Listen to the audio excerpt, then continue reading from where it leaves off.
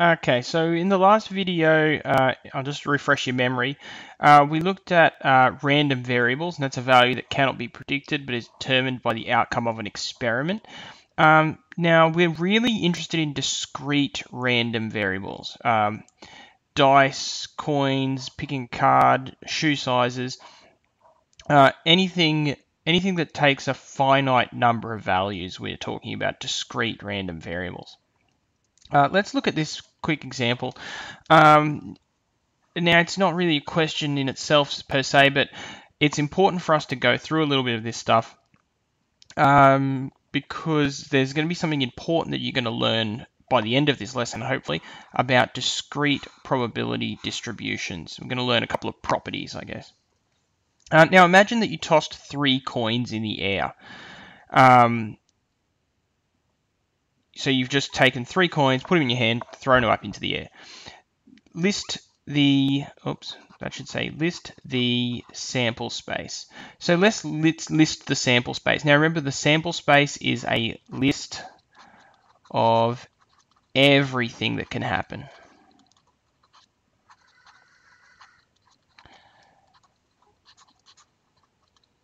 Okay, the easiest way to do that is, um, I guess, with a tree diagram. Uh, the first coin that hits the ground could either be a head or a tail. Now, the second coin that hits the ground could be a head or a tail. And of course, the third coin that hits the ground could be a head or a tail.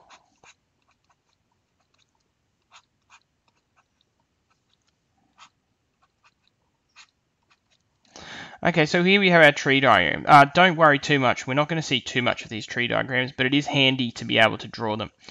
Um, now, from that tree diagram, we can write up our sample space. One thing that could happen is you could have heads, heads, heads. So the first coin's a head, the second coin's a head, the third coin's a head. The second thing that could happen is the first coin's a head, the second coin's a head, and the third coin is a tail. That's heads, heads, tail. Um, first coin's a head, second coin's a tail, third coin's a head. Head, tail, head. And we can continue on just by reading across our tree diagram.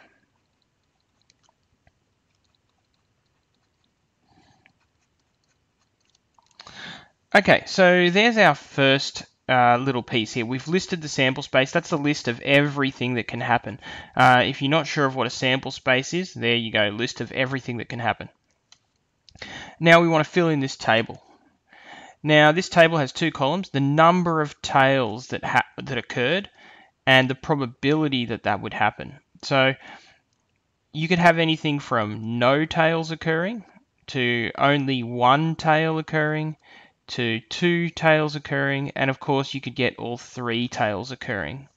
So we just need to look at uh, what the probability of each of those things happening now.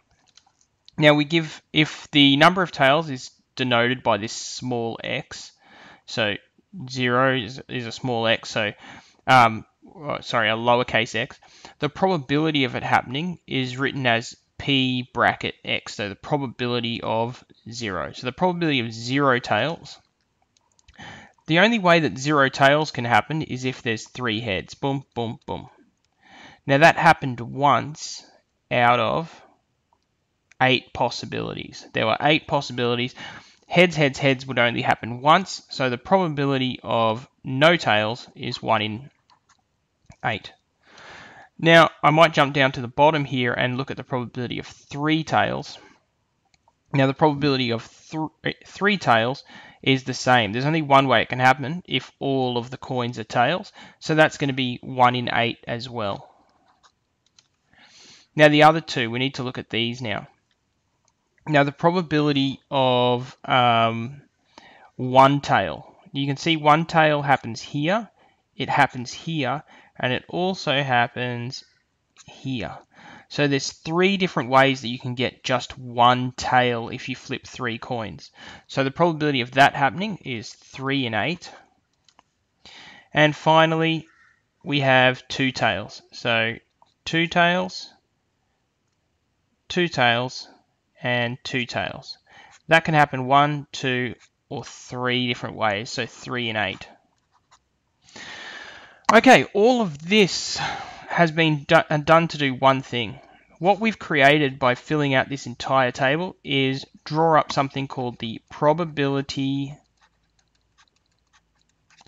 distribution.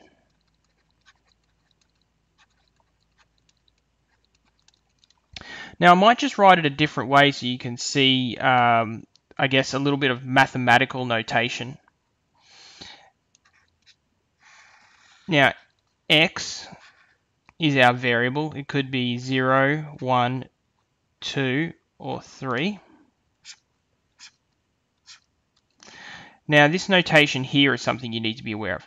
The probability that capital X, now capital X is the variable in question. So the variable in question is number of tails. So the probability that the number of tails is equal to X you'll see this probability of capital X equals lowercase x a lot.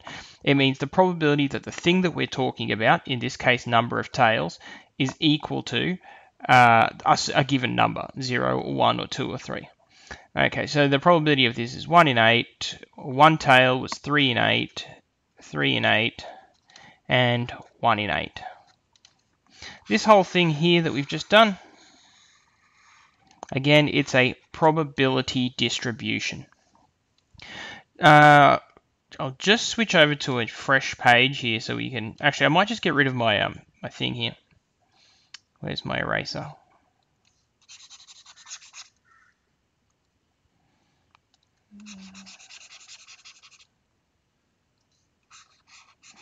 Okay, so last thing we really need to talk about is the properties properties of uh, probability distributions. Two important properties that we get of, of probability distributions. One is that the, um, no, I'll write it in mathematical notation, but then we'll talk about it. Zero is less than the probability that the variable is equal to x, which is less than 1. All this says is that the probability of something occurring needs to be between 0 and 1. The probability of something happening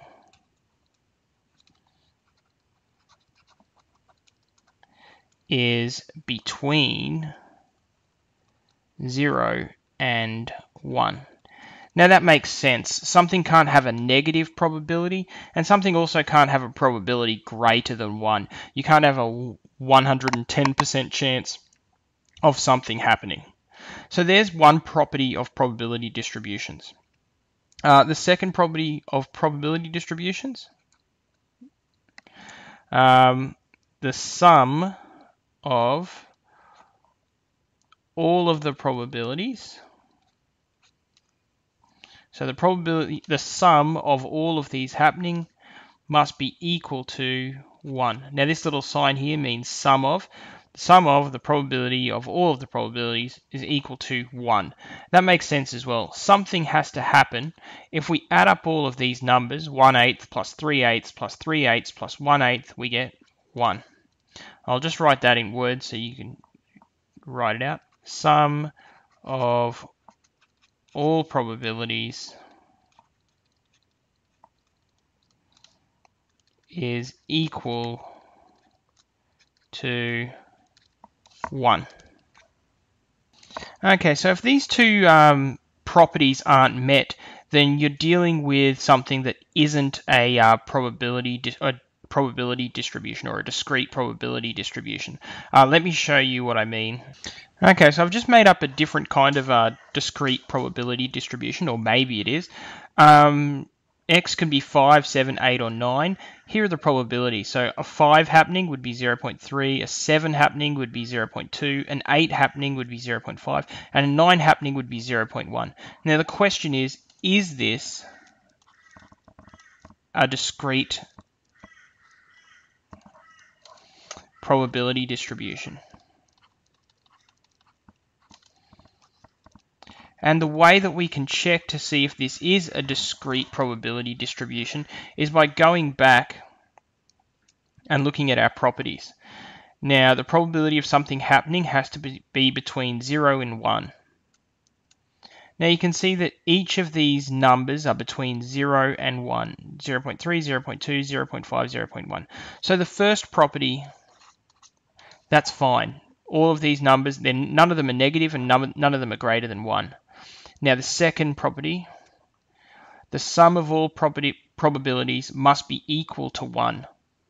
Now you can see that if we add these up, 0.3 plus 0.2 plus 0.5 plus 0.1, if I add all that up, I get an answer of 1.1. That means that it fails my second uh, test of of whether something's a discrete probability distribution. So this, the thing that we're looking at here, is not a discrete probability distribution. Uh, and here's a slightly different question. Um, if this is a discrete probability distribution, find the value of A.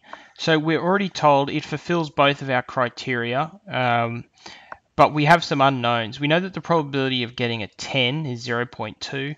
We know that the probability of getting a 13 is 0.5, but we don't know the probability of, of getting an 11 or getting a 12. But we do know it's a discrete probability distribution, which means that all of these values, uh, all of those values are going to add up to 1.